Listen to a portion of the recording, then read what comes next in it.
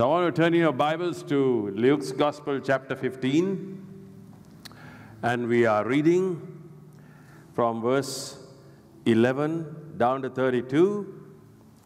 Then he said, A certain man had two sons, and the younger of them said to his father, Father, give me the portion of goods that falls to me. So he divided to them his livelihood. And not many days after, the younger son gathered all together, journeyed to a far country, and there wasted his possessions with prodigal living. But when he had spent all, there arose a severe famine in that land, and he began to be in want. Then he went and joined himself to a citizen of that country, and he sent him into his fields to feed swine. And he would gladly have filled his stomach with the pods that the swine ate, and no one gave him anything. But when he came to himself, he said, How many of my father's hired servants have bread enough and to spare, and I perish with hunger? I will arise and go to my father, and will say to him, Father, I have sinned against heaven and before you, and I am no longer worthy to be called your son. Make me like the one of your hired servants. And he arose and came to his father. But when he was still a great way off, his father saw him and had compassion and ran and fell on his neck and kissed him. And the son said to him, Father, I have sinned against heaven and in your sight, and I am no longer worthy to be called your son. But the father said to his servants, Bring out the best robe and put it on him, and put a ring on his hand and sandals on his feet, and bring the fatted calf here and kill it, and let us eat and be merry. For this my son was dead and is alive again. He was lost and is found, and they began to be merry. Now his older son was in the field. And as he came and drew near to the house, he heard music and dancing. So he called one of the servants and asked what these things meant. And he said to him, Your brother has come, and because he has received him safe and sound, your father has killed the fatted calf. But he was angry and would not go in. Therefore his father came out and pleaded with him. So he answered and said to his father, Lo, these many years I have been serving you. I never transgressed your commandment at any time, and yet you never gave me a young goat that I might make merry with my friends. But as soon as this son of yours came, who had devoured your livelihood with harlots, you killed the fatted calf for him. And he said to him, Son, you are always with me, and all that I have is yours. It was right that we should make merry and be glad, for your brother was dead and is alive again, and was lost and is found. Usually, when we look at the prodigal, the story in Luke's Gospel, chapter 15, we focus on the prodigal son and uh, we explain the, all the intricacies of his disobedience and things like that, and uh, uh, invite people to come to the Lord and to experience His grace. But I want to, I'm led to share with you uh, not so much about the prodigal son, but about the Father, which is a symbol of God, our Heavenly Father. And God, our Heavenly Father, longs, desires to have fellowship with us, that we may drink at His fountain be refreshed, and our relationship with Him will deepen. And this story, because there are many storylines in Bible stories, and this storyline about the Father is an amazing uh, revelation of His attributes that we need to get into ourselves so that we can enjoy who our Father is.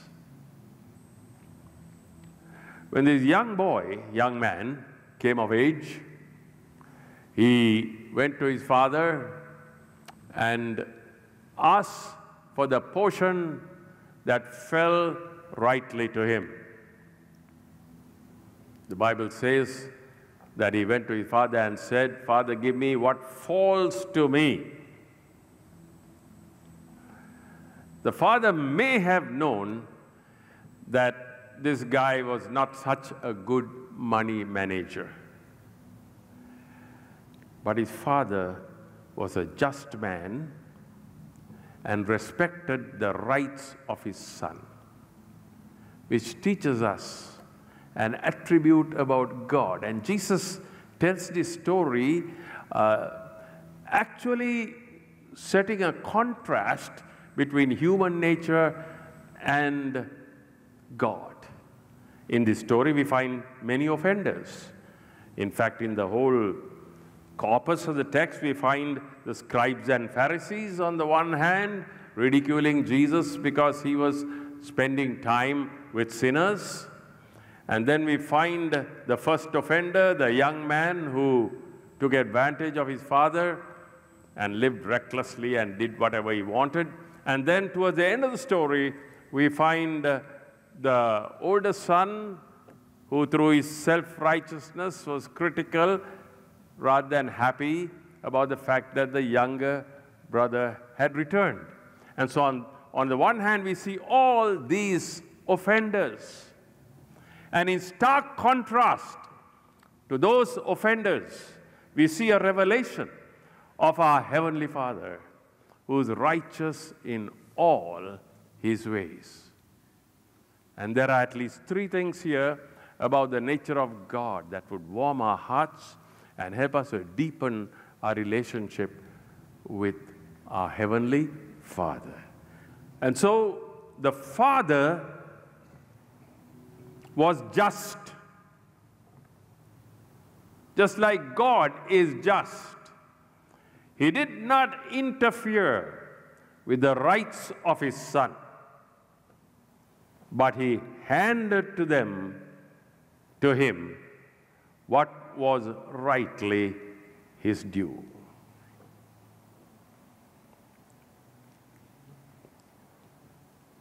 Because the Father was just and God is just.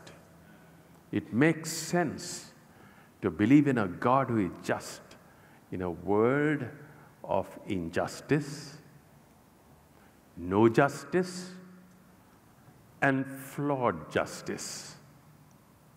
We all know what that is and how frustrating it is to live in environments where there is no true justice. But we can console ourselves in this that in the midst of rampant injustice, God is a just God. Hallelujah. And He's our Father. And so when you're faced with a situation where you are the victim and you realize that you're being taken advantage of and that you have no recourse and no matter how much you pray there is no answer, you can console yourself in the truth that God is just and you are his child. And he will only permit injustice to happen to you to the extent that in his wisdom and providence he decides it should be. And when you are going through those situations, I can guarantee to you that the presence of God will be with you. Life is full of injustice. We are not in heaven yet. This is earth. And we have to interact with people and deal with people who are unjust, who are partial, who discriminate. But God is just. Now, the interesting thing is, and all of us should remember this, that God doesn't stop you from sinning. Sinning. he didn't stop Adam and Eve. Many people have sinned. Even people who claim to be followers of Christ, followers of God. God is not going to physically come and stop you from sinning. When the uh, Apostle John says, the one who knows the Lord cannot sin, is not talking about a physical cannot, it's talking about a moral cannot. God doesn't come physically and stop anybody from sinning. That is your right as a free moral agent. God created a human being, not a robot. And so you have a choice, and God respects that. That's important to remember because I've heard some people say, Why didn't God stop me from doing it? God won't stop you from doing it because He respects you and He has given you a free will so that you can make the choices. But the other thing to remember, of course, is that not only are you given the freedom to make your choices, you also have to live with the consequences. So this guy took his money and he spent it recklessly. We have a description of it. He lived riotously, and then he lost everything, and he was living on pig pods. One good thing about him, though, the Bible says that one day he came to himself. That is, he went into himself. And when he went into himself, he shook his head and he said, Well, I better go back to my dad. He's got a much better environment there. And even if I'm a servant, it's much better than being in this condition. There's a good thing about this younger son. You know what that is? He didn't blame God for his predicament.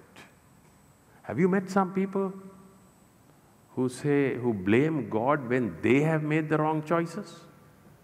Have you met any? There are people who make wrong choices, and when the consequences come upon them, they blame God. Why did God allow this to happen? Well, if you jump from the third floor, you're going to break your limbs and you might not even live. God is not to be blamed for that. But this man didn't blame God. Good point. Then he got up and he went towards his father and to the home. And this is what we read. Verse 20, just listen to me. And he arose and came to his father. But when he was still a great way off, his father saw him and had compassion and ran and fell on his neck and kissed him. And the son said to him, Father, I have sinned against heaven and in your sight, and I am no longer worthy to be called your son. A very important verse in that parable. A parable is an earthly story with a spiritual and heavenly meaning.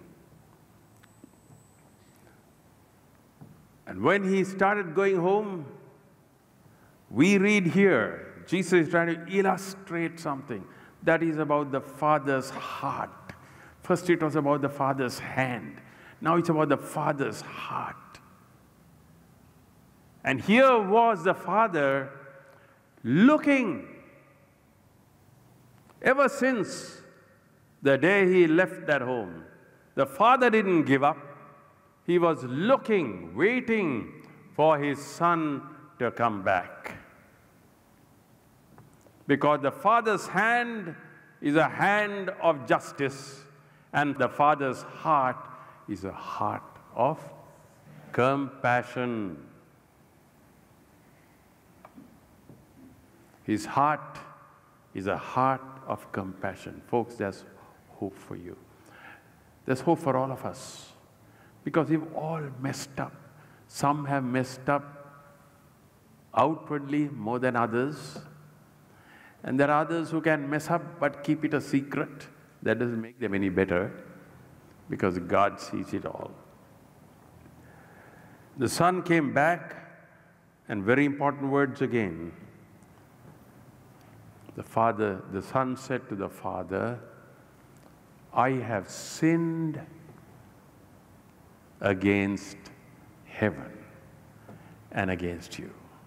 And I'm no more worthy to be called your son. Today, we have hardly anybody preaching about sin and repentance. Most of the time, especially in Pentecostal and charismatic churches, ours is a charismatic church. No apologies. I'm an unapologetic uh, charismatic.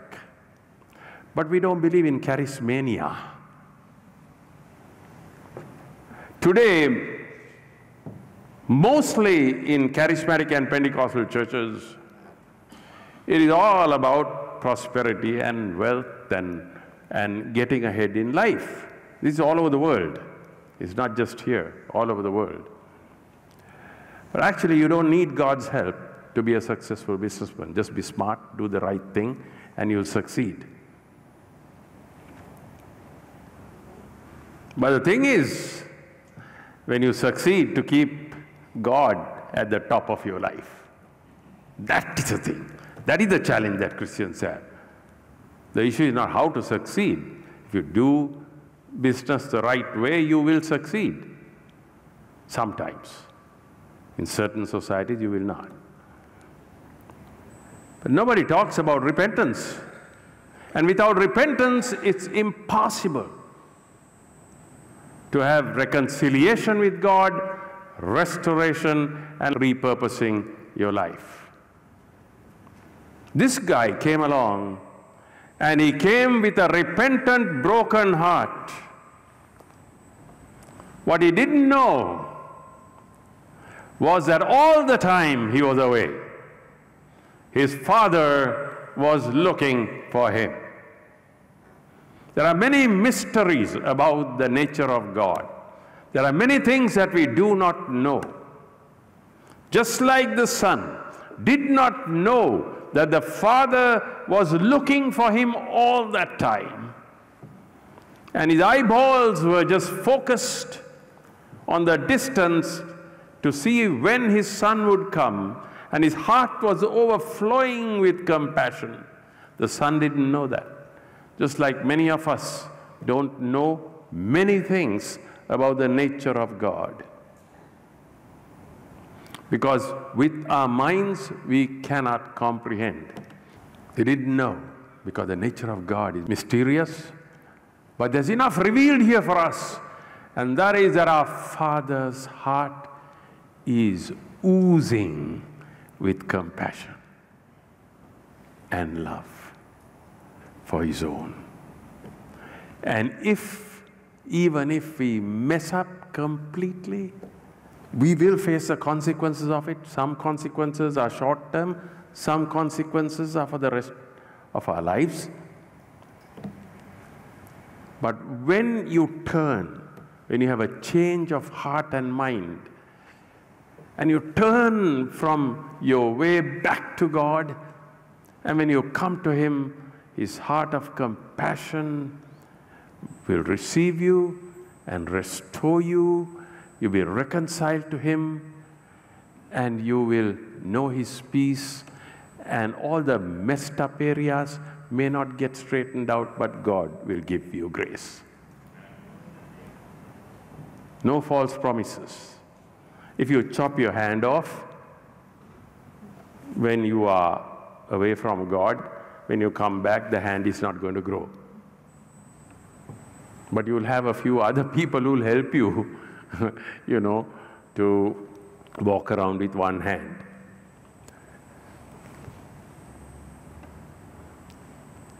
And when you come back to him, you know what the father did? The father shouted to his servants and said, Come on, bring a robe and put on him. Robe, symbol of restoration. Put a ring on his finger, which is a sign of affection and put sandals on his feet so that now he will know that he is no more a slave, but he is a son. The sandals are a sign of sonship, the ring is a sign of God's affection, and the robe is a sign of restoration. And the fatted calf was the celebration. This is what happens when people come back to God. That wonderful? Not only is he just, he is full of compassion. He's overflowing with compassion. And God is calling me to enjoy his presence and to, to rejoice and to revel in his compassion. That does not give me an excuse to sin or a license to sin. It only tells me the reality that God wants to, to restore people. He wants to bring people back into their place where they can be used by Him. He wants them to come into the full potential that He has designed for them. And nothing and no one should hold you back from coming to your Father and experiencing His compassion. Aren't you glad? There's hope for all of us. Well, when they were having the big party, somebody came back from work.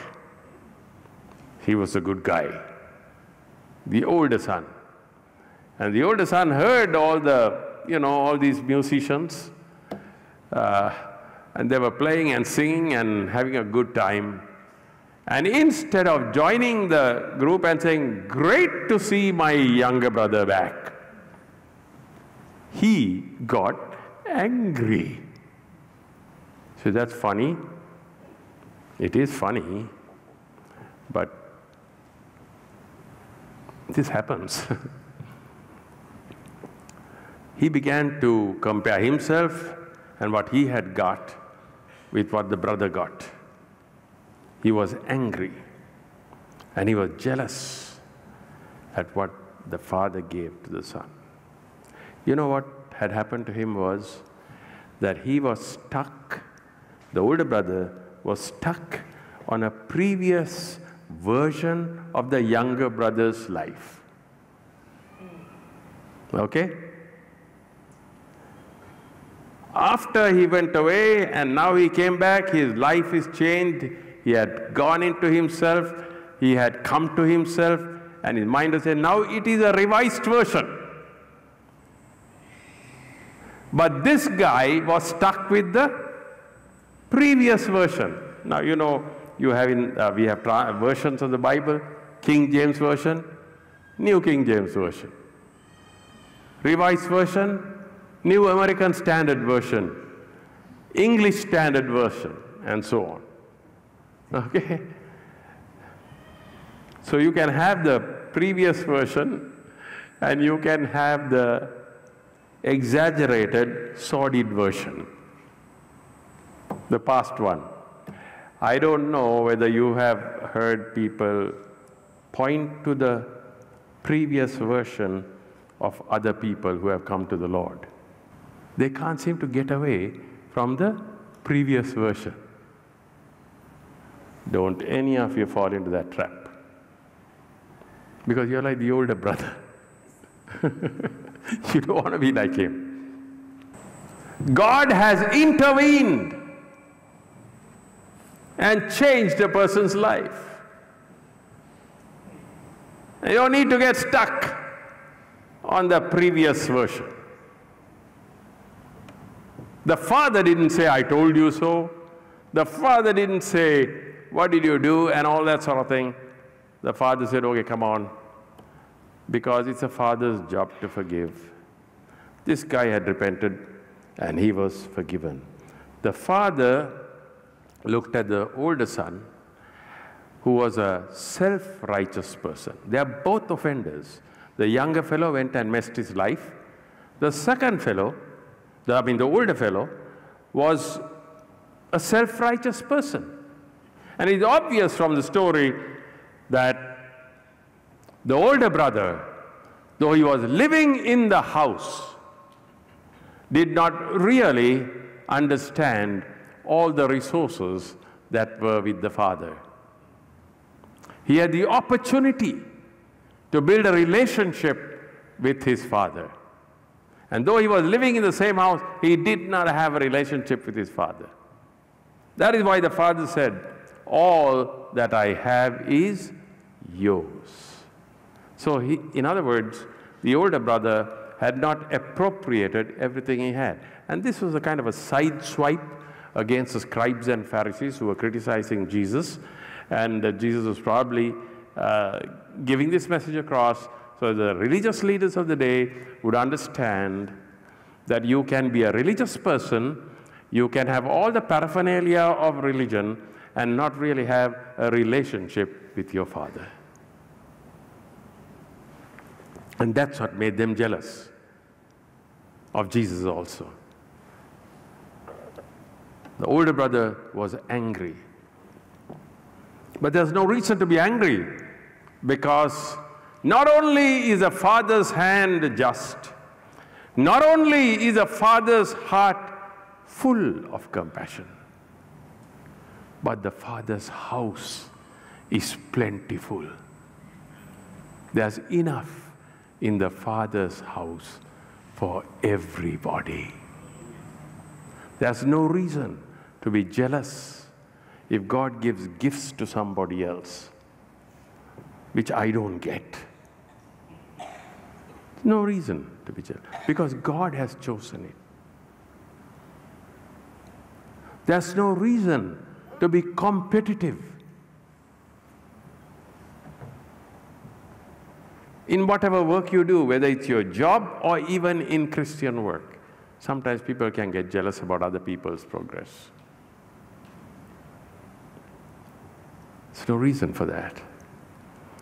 There's enough grace, there is enough forgiveness, there is enough restoration, there is enough reconciliation, there is enough love, there is enough compassion, there's enough gifts in the house of the Lord.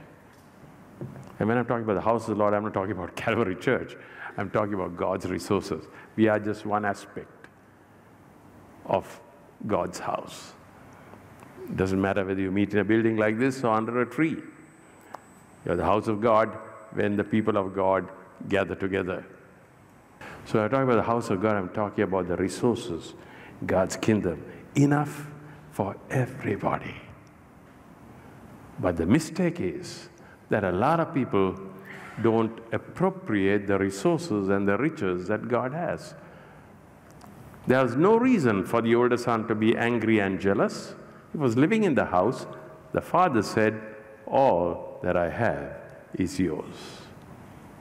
Yes, all that God has is mine. Hallelujah. Father's hand is just, his heart is a heart of compassion, and his house is full. I am so glad that God is my Father I don't want to blame God for my mistakes. I don't want to think that when I come back to God, He will not restore me. I don't want to be jealous and competitive about what God does through other people. I just want to focus on what God wants to do through me because that's what He looks at and what He rewards. God is my Father. Hallelujah. Praise the name of the Lord. I'm so delighted to be his child. And I want to walk with him and do his will and bring others into the restoration that God has for them. None of this means that God is not a holy God and that he desires us to live holy and righteous and sanctified before him by the power of the Holy Spirit. It only means this is the heart of God, and there is no end to His compassion, and there is no end to His forgiveness, and He can do the impossible for us. Hallelujah. Ascribe greatness to our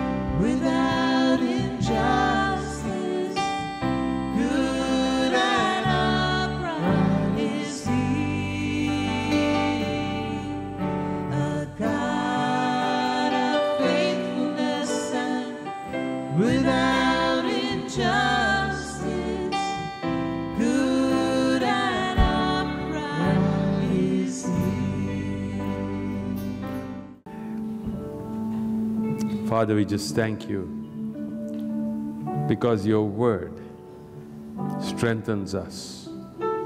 And as we depart into the world that you have created, that you have put us in, help us, Lord, to be thankful that you're a just Father, that you're a compassionate Father. Your heart is full of compassion. And Lord, that your house is full of everything we need, not only for ourselves, but for others. And let us give them the bread of life. Thank you, Jesus. Amen. And now may the grace of our Lord and Savior Jesus Christ, the love of God the Father, and the fellowship and communion of the blessed Holy Spirit be with us now and forevermore. Amen.